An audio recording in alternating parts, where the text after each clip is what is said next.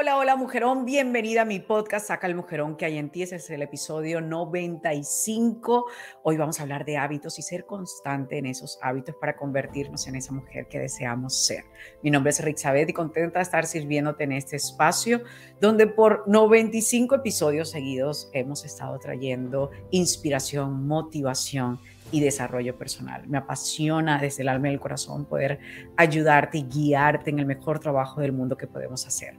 En el trabajo en nosotras mismas, trabajar en nuestro desarrollo es de las pasiones de mi corazón porque me he dado cuenta cómo mi vida ha venido cambiando y cómo hemos venido también encaminando un batallón de mujeres que están haciendo también este trabajo y que están viendo los frutos a través de sus emprendimientos, están viendo los frutos a través de sus hermosos proyectos, de su marca personal, de su liderazgo.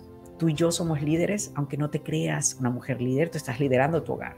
Hoy seguimos construyendo esa mujer que estamos destinadas a ser. Tú y yo tenemos un mensaje que llevarle al mundo a través de nuestro bello emprendimiento. Y aunque no te creas la líder de tu casa, no te creas la líder de tu vida, o no te creas la líder de tu emprendimiento, lo eres. Hay alguien más que está siendo influenciado por ti, quieras o no quieras. Está siendo influenciado para bien o está siendo influenciado para mal. Entonces, si ya tenemos esa conciencia, ¿Qué queremos hacer? ¿Queremos liderar con energía? ¿Queremos levantar nuestra voz y llevar un mensaje? ¿O queremos seguir esperando que la vida nos pase por encima a ver qué oportunidad llega? Yo creo que si estás aquí es porque has estado buscando un camino de cambio, un camino de crecimiento y has estado de alguna u otra manera tratando de llegar a traer a tu vida algo como lo que nosotros hacemos dentro de la ingeniería del mujerón, que es trabajar en nuestro desarrollo, trabajar en todas esas áreas que nos permiten a nosotros ser mujeres valientes, fuertes, con identidad, mujeres enfocadas, mujeres productivas y mujeres que aprovechan y se crean oportunidades quieras o no quieras, tú y yo somos mujeres creadoras de nuestra vida, creadoras de oportunidades. Y llegó nuestro momento de empezar a tomar responsabilidad y cartas en el asunto donde tú y yo entonces nos vamos a planificar esos hábitos productivos que nos permitan llegar a convertirnos en esa mujer que tanto deseamos ser. Los hábitos, queramos o no queramos, ellos están allí todos los días repitiéndonos en qué nos estamos convirtiendo. Están automáticamente haciendo de nuestra vida esto que llamamos vida. O sea, que eres tus hábitos. Todo lo que practicas, consciente o inconscientemente, ya ha creado en ti un hábito. Ahora, ¿quieres realmente empezar a crear hábitos productivos?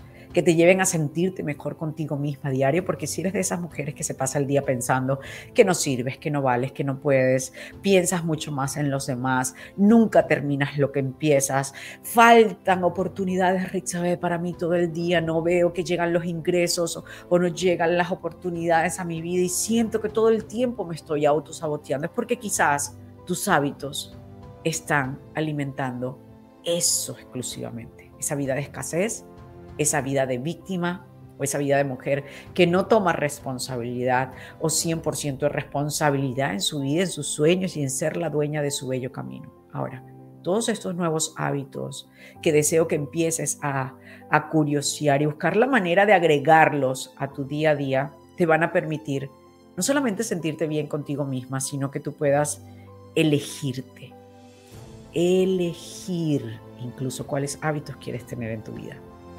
No que repetitivamente vayas haciendo las cosas porque no te estás dando cuenta que está ocurriendo, sino tú eliges dónde tú quieres estar. Tú eliges qué quieres atraer a tu vida. Tú eliges qué oportunidades te quieres crear y dónde sí quieres dedicarte tiempo y dónde sí quisieras estar dedicando tus decisiones y tu propia vida.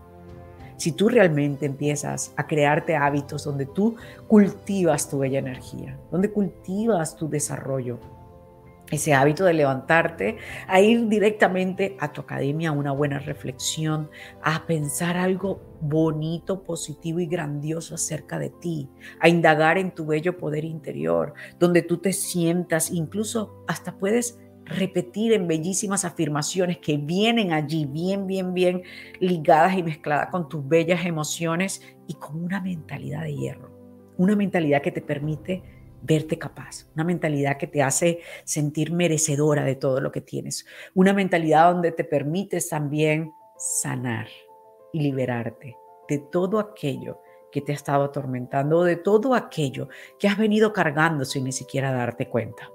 Si tú realmente eres esa mujer que decide crearse nuevos hábitos, que decide empezar a hacer cosas diferentes a partir de ahora, incluso así nos cueste, Recuerdo cuando empecé a hacer todo este cambio en mi vida de cuidar mi cuerpo, cuidar mi alimentación, de cuidar mi mentalidad, porque todo va muy mezclado y muy ligado. No quieres tener o ser la mujer más millonaria de esta tierra y no cuidarte en tu alimentación, porque ¿de qué te va a servir tener todo el dinero del mundo si en cualquier momento vas a tener que gastarte todo ese dinero en una enfermedad porque es que no has querido comer bien? Es adaptar, cuidarte y buscar la manera de prepararte en esa área en la que no eres tan buena tocó buscar ayuda, me tocó invertir tiempo y dinero en alguien que me capacitara, que me ayudara a poder ir por el camino mucho más segura porque alguien me apoyaba y alguien me estaba guiando los pasos. No me sentía sola, pero a la vez estaba haciendo un extra esfuerzo de cambiar hábitos, de cambiar mentalidad,